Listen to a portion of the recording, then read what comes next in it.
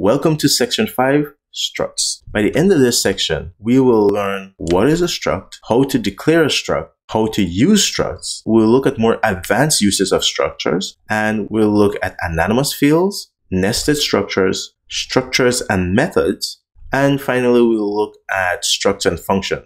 And this is where we're going to talk about what happens when you copy structures essentially. Every time we talk about some data type and functions, it's, well, what happened when you copy it? So let's start at the beginning. Introduction, lecture one.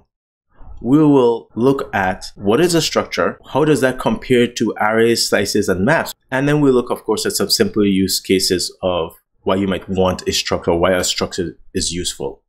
So let's start with a definition. And this is taken from the Golang documentation. It says a struct is a sequence of name elements called fields, each of which has a name and a type. Field names may be specified explicitly or implicitly. Within a struct, non-blank field names must be unique. Now that's a lot to chew on. So we'll just keep that in the back of our heads for now. But before we can embark on learning something new, it might help for us to sort of revisit some of the things we've already learned so that we can sort of compare and contrast. Let's start with the first collection type we look at, and those were arrays.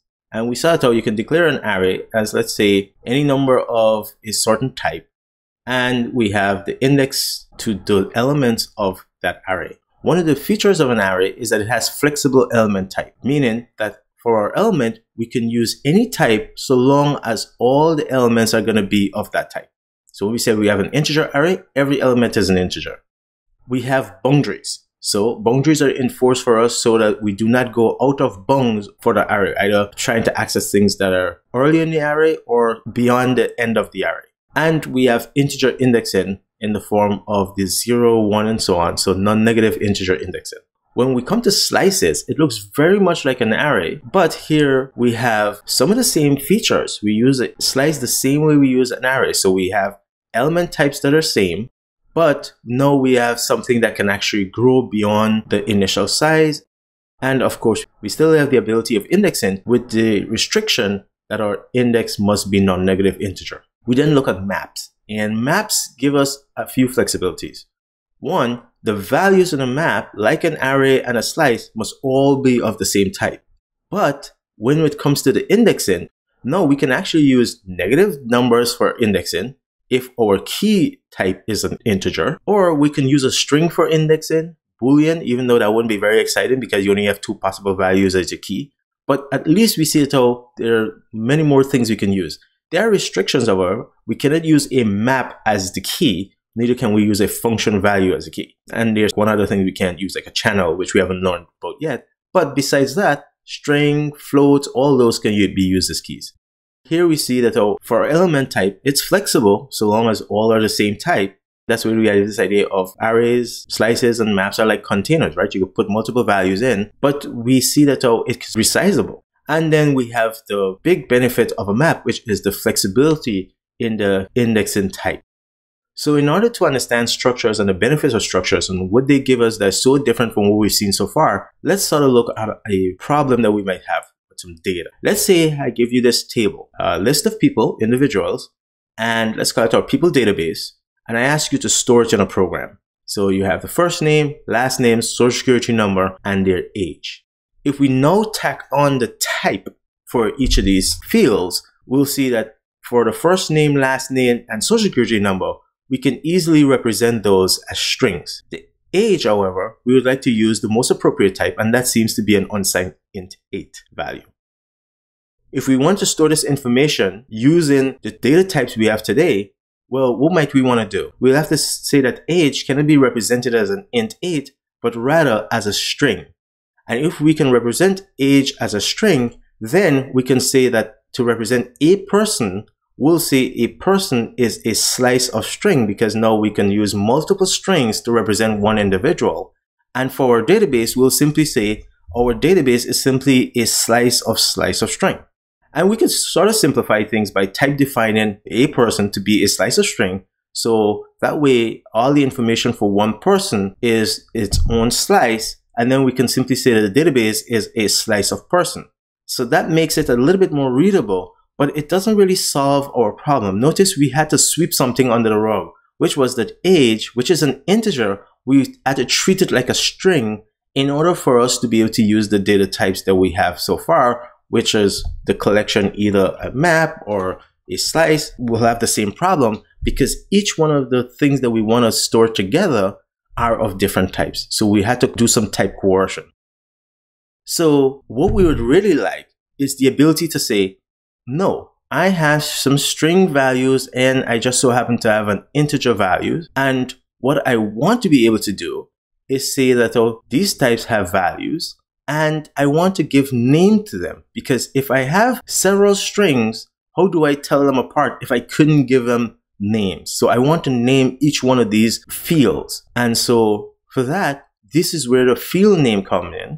This is where the type comes in. And this is where the value comes in, where we say each field has a type and it also can have a value. And so what a structure is, is a umbrella under which you can put all of these different things. So a structure allows you to say that oh, you have name fields. And if we look back at what the definition for what a structure is, it says a structure is a sequence of named elements. And this is my sequence of named elements. First name, last name, social security number, and age. That's the, the sequence of named element. I'm naming each element, unlike when we use array, maps, and slices, we could not name our elements. We simply said that we have elements of a certain type, and that was it. Now, in maps, we had a key. For example, we could have used first name or something. Instead, if we had a key for age, use age as a key. Remember, we couldn't store an integer in our map. Everything in our map would have to be of the same type, so we'd still have to coerce our age into a string. With a struct, no, age can be of type int. And we call those named element the fields, and then each field has a name and a type. Now that we've illustrated the problem, let's take a look at some code. And I have a main.go file. And in my command line, you can see I am in that directory already.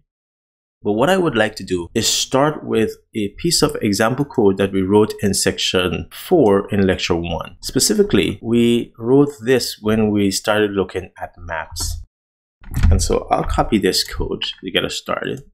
And to illustrate the problem, I'll paste it here. And so for now, I'll close our editor here to give us some more space. I'd like to make some changes first. If you remember, we said that we had a people's database. So let's call this database, for example. And we have some people in it, of course. And for now, let me simplify things a little bit. It doesn't change much what we're doing. It just simplify the code because I'll be writing a bit more code. Let's run our example. And so just as before, we have the Smith family. Um, members of the Smith family is Mary, John, Pete, and Anne. And the Jones family, because they're not in our database yet, and this is a map, we can look them up still. There's nothing there, an empty slice. So what we said was if we have a slice, notice we have a map that's a slice of string and we can add members to a family. But the problem, and this is without structs, that here for Mary, we can only this as a string for each person. We cannot represent Mary's age. We can certainly say, uh, or just string represent our full name, Mary Smith, for example, but social security number, where should we put that?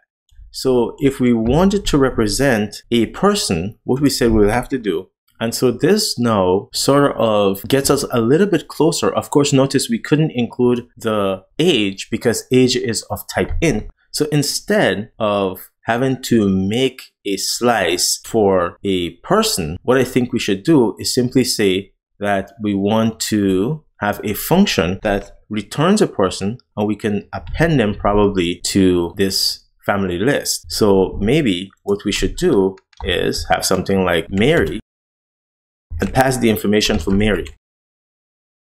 Before I write the new person function, which is just going to create a new person and return it, so we understand it's going to take this parameter, create a new person slice, return it as a slice of string, which is a person is, as we defined it up here. We have now Mary is a person, John is a person, Peter is a person, Anne is a person. And since in our database, we are making a, okay, so our database is actually, so that wasn't correct. So a family is a collection of individuals. And if we say an individual is a collection of string, then a family is just a collection of individuals. Now we can also say that really what we have here is a map of last name to family. And so a last name is a string, right? So we, we can certainly do that. And it's sort of the same thing, but it's sort of make it more explicit what we're doing. But anyway, so we make a person. And so in our database, we use in a string or our last name to look up that family. Once we have a family, which we know is just a slice where we can use the append function to say append onto that family, whatever the value is, all these other elements. And we know it all oh, this is a variadic function that takes multiple values to append to the slice. And so of course we have to save the result. This is going to work if so long as I write my new person function. Once I write my new person function, which takes four string values and return the correct type, then I am good. So let's write that now. I'm not sure why it's saying that it's not used because I clearly have Mary here and I have Mary here. So, oh, so this is why, because this is database. It was a little bit confused. Okay, so now the error message went away. So let's run our code and see what happens. And so this is what we expect. We expect a family is just a slice of individual and an individual or a person is just a slice of string. So we can see this is one person here, John. This is another person, Mary. And each of these is just a slice of strings. That's why we see the array-like syntax around it. And it doesn't appear here that we're using a string for our age, but we know that we are because we can see that here. So this is without struct, we'll have to do something like this. And certainly if we wanted to take the average age of anybody in a family, well, we have to convert each one of these string values to a integer first before we do some comparison. So that's what I meant when we were talking about in the slides, why we're sweeping under the rug that we are actually dealing with an int. And a struct solved this problem for us. What a struct allows us to say is that if I have a person, and so I'll rename this because this is sort of wasted on this type. So what I'll call this is person hack. And the reason why I'm calling it a hack is because this is a hack if we had to do this in our code. This is not what we really intend. This is not what we really want. Same thing with family. This is a hack. And this database map into this type of family, well, this is a hack too. If we, there's something we want to do in code and there's no explicit easy way to do it and we have to jump through hoops, we tend to say that, oh, we've just hacked the code or we've written a hack. So this is not correct. It's not the best way without structs. This is the way we would have to do it. And we'd say, oh, this is a hack, all right, to get around what we really want to do. So what we really want to do is to use a struct. And with a struct, what we really want to be able to do is say that we have somebody's name. Let's say somebody called Max, and we want to be able to say Max that first name is equals to Max. We want to be able to say Max that last name is equals to whatever Max's last name is. Maybe he's part of the Jones family. Max's social security number is that, and Max's age.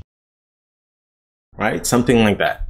And so the way we get this, because what we're doing is we have something, some object on which we can access each field by specifying a name. So if you remember from the definition of what a struct is, it says named fields. So how do we declare this?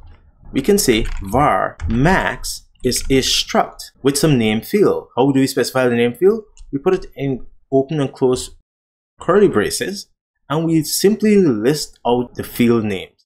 And remember, each field name has a type.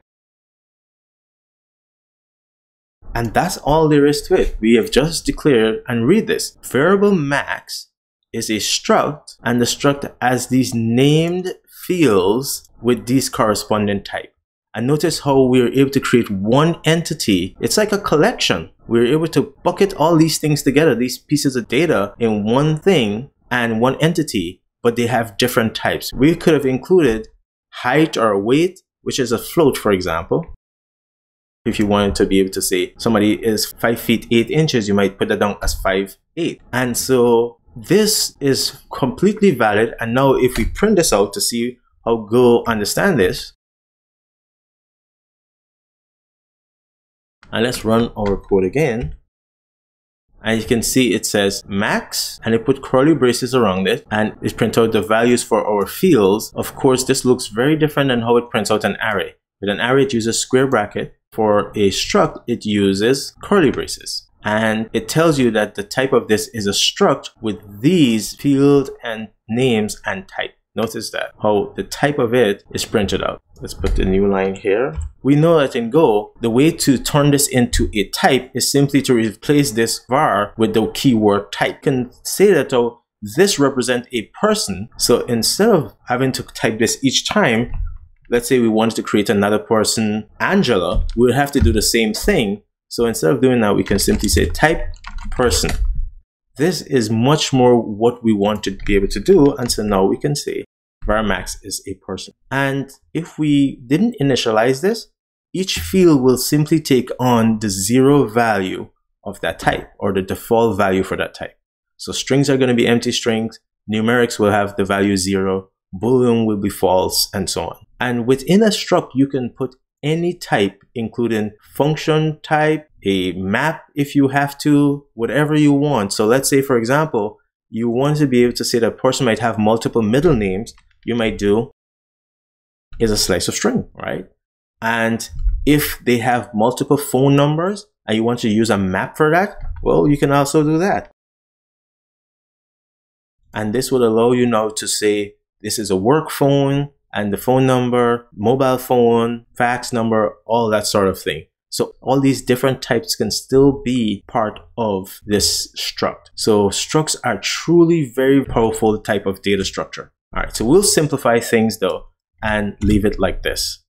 And so now that we have a person like this, now we can certainly revisit our database and say, why don't we redo our database in terms of person. I will move this type now up to the top. And so we don't need the type keyword.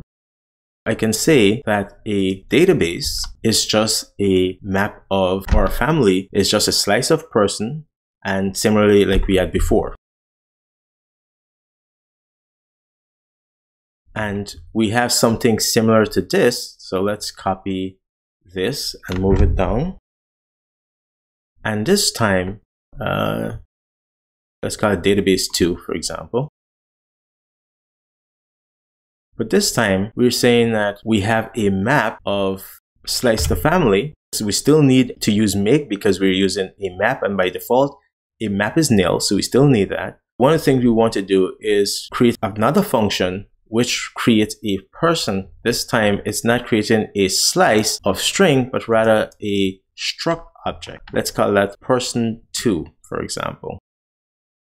And we'll keep that around just so our program can still work. But this time, we know that our age is not a string, so we can make that a separate parameter that's appropriate. And now we're returning an actual person, not a hack of a person.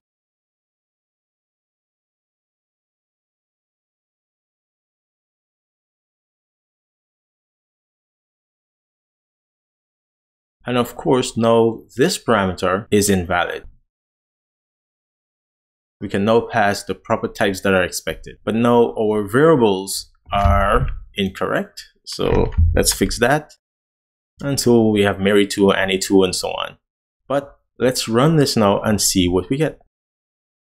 Clear our screen, run the program. So now we see that this is working.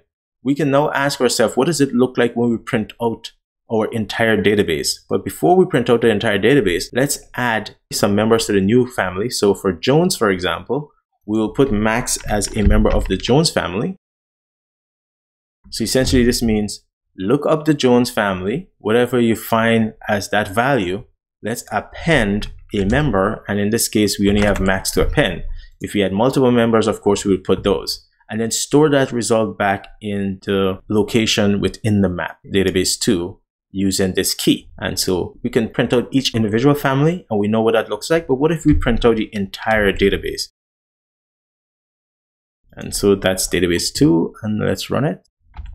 And as you can see, this is the entire database. Notice it says map and within our map, we have a key Smith and the value, notice the colon. So this is the key and then this is the value that comes next the key is a slice and then within that slice are elements which are structs. We know those are structs because we see the curly braces and these are their value followed by another struct value. And so we now have that this is the entire slice for the Smith family. And then notice the next key is Jones. Probably can't see it on my screen properly. So key Smith, key Jones and this is the value which is again is a slice of person object. And so very nested and deep data structures we're doing now, but at least you can see the benefit of being able to use something like a struct to take care of having multiple fields, each field having a different type, and that is a structure. Before we end this lecture, let's take a look at what we've learned today. You saw how to declare structure, you saw how to assign value and look up values from it, and that is all part of using structure. Definitely look at the Go language specification on struct types. That's it. Thanks for your time. See you in the next lecture. Take care. Have a great day. For this exercise, let's close this off. I don't want to look at the solution, but the stub. And what you're going to do is use some data that I grabbed from the web, and it's about the largest cities in the world. Now, the data is pretty simple. Let's take a look at what that data look like. So in the solution part, exercise one, okay, cities. Let's copy that and put that in the stub also. So this is what the data look like. It has header, which has city, the country name, and population data for the metropolitan area around that city. And so what I'd like you to do is write a Go program given this comma separated value file that does the following. Your program should read the records from this file. The program name that you're going to read the data file should be passed to your program as an argument. If it's not passed to your program, you should handle that case correctly and show them the correct usage. And so you turn those from a comma separated string value into an object. And then you have to find some way of storing each of those records. And once you find that, the only thing I want you to do is go through that list and print out the countries which have five or more of the largest cities in this list. That is all you have to do. And if you think about this problem, if you index it properly using a map, you can answer this question very easily. So you want to use a map to index the data. That's a tip. And of course, you want to store each record appropriately because what if someone asks you know to find the total population or the average population within a country or across countries or something like that? Then you have to be able to find that information very easily. Definitely want you to follow the requirement and you must use a structure type to represent the record from the file. And you should consider using more than one file for readability. And so I tell you a little bit of where I get the sample data. If you want to go look at it and get some more, that's up to you. That is the exercise. And of course, the solution is provided. If you're stuck, take a look at that. Welcome to section 5, lecture 2, advanced struct usage. So in this lecture, we're going to be looking at structure initialization. We'll talk about how you can nest structures, that's structure within structures. We'll also talk about anonymous fields, uh, when to use them, some of the drawbacks, and so on. And we'll look at how you can use basic types, those are your string and ints, as anonymous fields, how you can embed other structures using anonymous fields.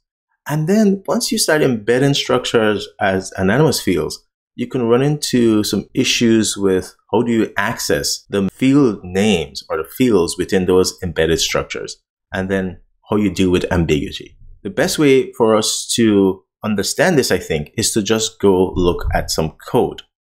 So here I am in my Visual Studio editor, and what I have is nothing too complex in terms of writing up some code is the outline of the program and this struct that I call address. And address has two fields, street one and street two. And so let's start by looking at some ways to initialize structures. So we know that if you declare a variable of type struct, you can start assigning values to the fields. So what I've done is I've declared a variable a0 of type struct and I've assigned some values to its field and now I want to print it out. And notice I'm using pound v. What this means is to show me the field names of the type. So let's run this code and see. What it's telling me is that I'm printing out a value for a type that's defined in the main package and the type is address. But notice here the field name colon and the value. Now, interestingly, When you use the pound v, what you're really saying is go print the result in a way that I can use to declare a variable of this same type with the values. So actually, if you copy this, you go back into your code and you do something like, so we're already in the main package, so I don't need to use main here. And of course, I want to print this out again. What you understand now is that we're able to use A0 after we declare it. And we first declare it, then we assign values to it. Then we can optionally do it this way, where we say we have a struct and we can specify which fields we want to initialize. What if we only wanted to initialize some of the fields? By naming the field, we can say which field we want to initialize. And so this allows us to only initialize street 2 field for this struct without initializing street 1 field. Now, the reason why you might want to do this is if you have a very complex structure, you might only want some of the fields initialized because the other default values are appropriate for whatever you want to do. Another thing to keep in mind is that, let me grab this. Where we did not name the fields, but simply specify the values, relies on you specifying the values in the order in which the structure was declared. Whereas when you name the fields, you can name them in any order. For example, I can move this from here and put it at the end. Of course, I need my comma in between. But now I get the exact same values as A1, even though I have them in different order because I've named the field. So these are some of the ways you can initialize a structure. So there's one other thing that you should be aware of when it comes to initializing structure field. And that is, let's say I wanted to put this on multiple line. Like I had several values, fields, sorry. Let's say I had a very long initialization list and I wanted to be on several lines. So can I do this? Can I put this on one line? That still works fine. Separate this also on another line. And notice I don't have an error. It still works. But watch what happens when I put this on a line by itself. This might look neater, but we have an, an error here. It says I expect a comma. So even though there's no other field that comes after this line, you must put a comma at the last field and we'll see the same thing when we start doing nested structure in a bit. You must put a comma on the last field, even though if it's on a line by itself. And that's just a requirement. So there's no point in trying to understand why it is that way. Okay. So just for parsing, if you put this closing parentheses on a separate line, then it must be a comma here. So that's just one thing to note that might sometimes get you, but if it ever happens, you'll see it because your code is not going to compile. So let's talk about nested structures. So let's say I have an address and now I want to add a person struct that says a person have an address. So in this case, I have age, which is of type age, and I do not have that declared yet, but let's just say that I could put this anywhere, but I'll put it here. And let's say the type of an age is unsigned 8. Okay, so that takes care of that. Here we have this field address, which is of type address. So now we have nested one structure within another structure. So how do we initialize a person now that we have a nested structure? So we know that we can type person and then we can initialize it. So this is similar to this right here, where we create a address object and assign it to a variable. So I'm doing the short assignment, of course, here instead of typing var. So I'm going to create a person and assign them to P. Now, right now, my structure is empty. This is the exact same thing as if I did var person. They're both exactly the same. So now I can print out my person P. And of course, we can run the code and we can see this. And so here's person and has a field first name, last name, social security number, age, and address Notice our address field is of type main.address, which we know from before that the addresses are defined in main. And these are the field for main. And notice how it's printed out. Again, like I said, we can copy this and use this to assign our person object or create a new person object.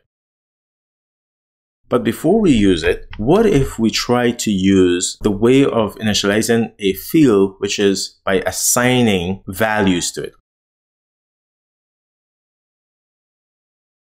Let's say we want to do this. we want to assign John as the first name, Doe as the last name, no social security number, and an age value of 45. Our intention is to leave address field empty because we don't know this address. If you notice, I'm getting an error for this. And the reason is because it says too few field value. Once you start specifying values for a struct like this in the initialization list, you must specify all the values. If you want to just specify a subset of values, then you must use named field. This is illegal. Let's comment out this. And instead, we'll use this. And so by having named fields, and no, let's put it on multiple lines. No, we don't need main because we're in the package main. And notice how for my name field for address, I had to say that I'm assigning the value of address structure. So this looks just like a declaration. We could have easily have pulled this out, assign it to a variable, and then just simply use the variable here. So now we can assign values. And of course, since I have no values for John's address, I can simply take this out and just simply say, I'm assigning an empty address. But like I said, since we're doing name field, I can choose to leave out the fields that I do not have a value for. So doing it this way also works. And notice I do not get a warning here. Now I want to put back something for just a minute to show you the issue with those commas and putting things on new line. So let's say I want to make this even nicer and I decide to just do this and then this like this. And then I put a new line here and of course it's going to complain. So we learned from before, even the last field needs a comma. So we put a comma there. And now I want to continue. I put a new line there. Notice what happened. This is seen as a field, which it is.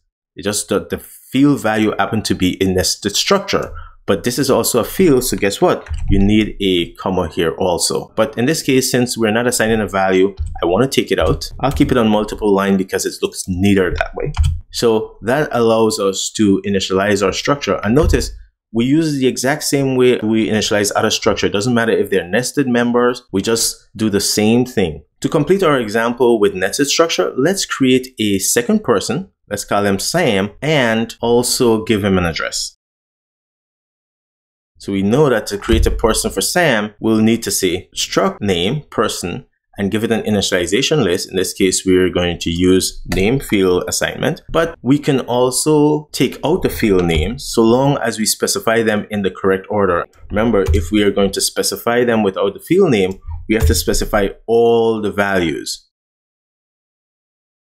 including saying that at this field's position, we have a struct address. Let's put these in different lines so it's a little bit easier to read. So as you can see, we're able to initialize explicitly the nested value for Sam is, is address. So we could run this if we want to see the result, but we know that it should work. We don't have an error in our code. And as you can see, there it is. So let's now talk about anonymous fields. So let's imagine I wanted to create another struct called city. And so city would have a name and of course, city belong to some state. So I can say, which state does this city belong to? And I can also have a struct to represent that state. So something like that.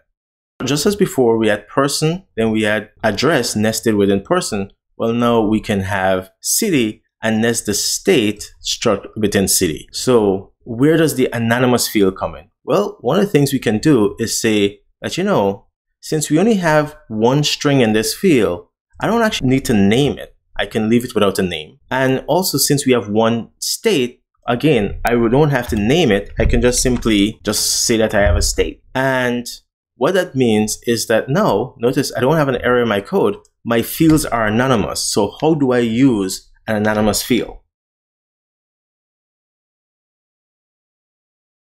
And so, no surprise, it's exactly the way how we declare a person. We say we had the first field was a string, so we put that value. And since we are listing out the value without naming the fields, well, we must specify all the fields value.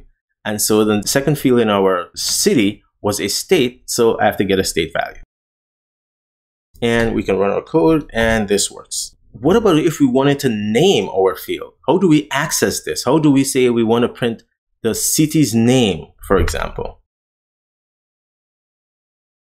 And notice when I type c dot, I am offered some options. So I'm offered name I'm also state, and I'm also string. Where is name coming from? Well, we'll get back to that in a bit. But we know that string field of the city struct is where I intend to place the city name. So I'll use that.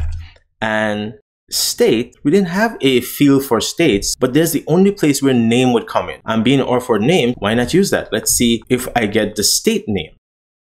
So if I run my code, you'll see that when I use string here, as though it's a field name, well, it's anonymous. Since my city only have a string and a state, I could afford to not give them name because it's clear that if I say city that string, I'm talking about this field. And if I say city that state, I'm talking about this field. Of course, we were able to use city that name. That's because since we have this nested or embedded structure, what Go is giving me or allowing me to do is access the field of this structure as though it was part of city. Now that might seem a bit confusing. So in a way, Go is delegating to the, when you say city that name, it's delegating to a nested structure that has that name. So you need some time to read up on it and practice it. But so that's where this name is coming from. And that's why when we run our code, we see it how it says New York because this is a shorthand for saying see that state that name. So let me show you what I mean. These two lines print exactly the same thing. I can say see that state that name and it's the exact same thing. I get the same result in both lines. So the first line allow me to just save some typing.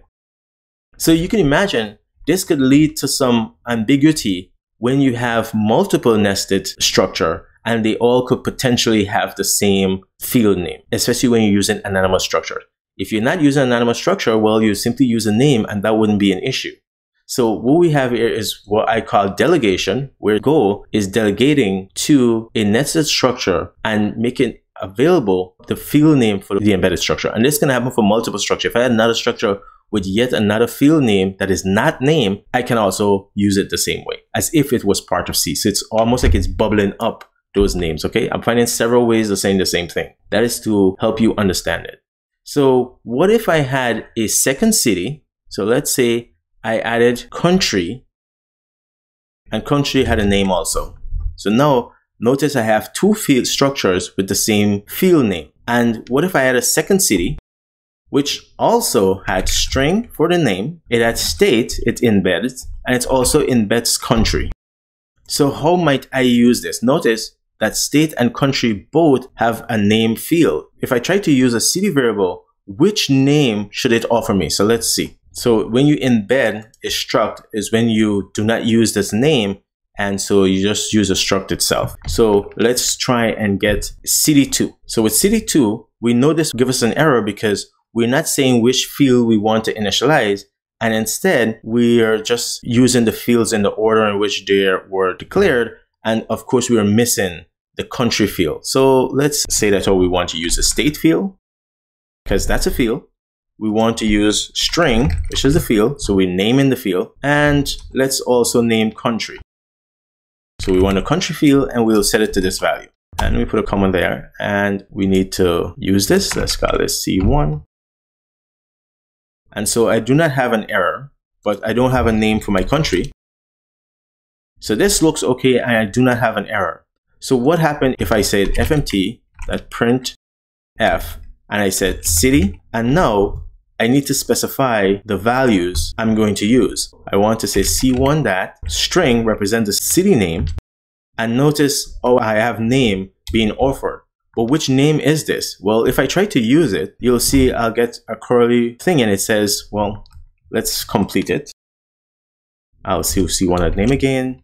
And so now I get the curly braces and it says ambiguous selector name. So even though it's offered me name, because it's bubbling that up from the nested structures, and of course it didn't offer me two, it also offered me one, you can't tell which one. So this is why it's ambiguous. So to disambiguate this, we have to say we want the one from state, that name, and we want the one from country, that name. And so now this is how you deal with ambiguity when you have anonymous structures that are embedded that have the same field name. So if we run a code, of course, we can tell this will run because we do not have a warning. And so there we go. Could take on a new line. We said we're going to look at all different ways of initializing structs and more advanced ways. And that means that we can specify which field of the structure we want to initialize. We can put them on multiple lines We can leave out fields that we do not want to initialize. We also talk about nested structures, how we can have structures within structures. And because we can name which field we want to initialize, well, the nested structures just get the default initialization. But if we want to use them, we can also name those by specifying that oh, we need to use a value of that structure type. And then when it comes to anonymous structure, we said that if we have unique types, basically the type only shows up once, we can leave out the name. Of course, if I wanted my city to have another string value, I could not leave both of these as anonymous because then it really doesn't make any sense. And I would encourage you not to really use anonymous basic type. Here it's clear this is a state and this is a country. So I'm not worried about just typing the word state again just so I can say I have a name struct because as we will see, you can also do public versus private field name for a structure. And so if you had to do a public field name, you would simply call it state. So why type it twice? You can leave it as anonymous. So this is okay when you have types that are named. In this case, if it's a built-in type, it's not so clear what is the purpose of this. So I would say go ahead and give this a name or name that field. Don't use anonymous fields for basic types. And then we saw that if you have nested structure or embedded structures where there's an ambiguity resulting from the name that are bubbled up to the parent structure, that you can disambiguate it by just being explicit about which structure you want to use. So that's it for this lecture. Now, we don't have an exercise for the end of this lecture because the material we cover really is just about initialization, nested structure, and while there's new material, there's no really way to come up with an exercise just to demonstrate that how you can disambiguate structures or you can nest structures. Uh, and so the concept is more important, I think, here. And an exercise really wouldn't help that much. If you really don't get it here, you should spend more time reading the language specification and also definitely looking at this video and other material on Golang structures. In the next lecture, we'll wrap up section five and then we'll have a lab that's it. Take care and see you in the next lecture. Bye. So for your lab exercise, what you have is what I call a people database, and you'll be running some stats on that people database. So I give you a file, a comma separated value file, representing information about individuals. I want you to write a Go program that does the following. It reads the record from this data file. So what does a record look like? Well, it's comma separated value. And so this represents the information for one person. And specifically, what you have is the name of a person. You have their first name, last name, social security number, their gender, male or female, their age, and then you have their salary. And this goes on and you have quite a bit of records. But you read the file. How do you specify the file? Well, it must be specified as an argument to your program. You need to examine each line to turn each string into the appropriate type. And once you store that information, now I'd like you to iterate over those records or person database and figure out what the total number of records, the minimum salary, maximum salary, average salary. And I want you to do this by gender. So you should be able to say how many records are for male, how many for female, what the minimum salary is and maximum salary is for women and men, and their average salary. And that's it. Okay, just calculate some stats. And there's some requirements, some things that you must do, of course. You must use a struct at least, at least one struct. You should use more than one files to make your program easier to read. And then remember that oh, you can use go install to install your package and go doc to get the name of your. If you want some additional data to test with, I got my data from Mockaroo. You can certainly go generate some more data and so on. And the solution, of course, is in the solution directory and I can run the solution so you can see and I pass the people that sees comma separated value file, my input data file. And as you can see, my program figure out how many are female, the minimum salary, maximum salary, average salary, and same thing for males.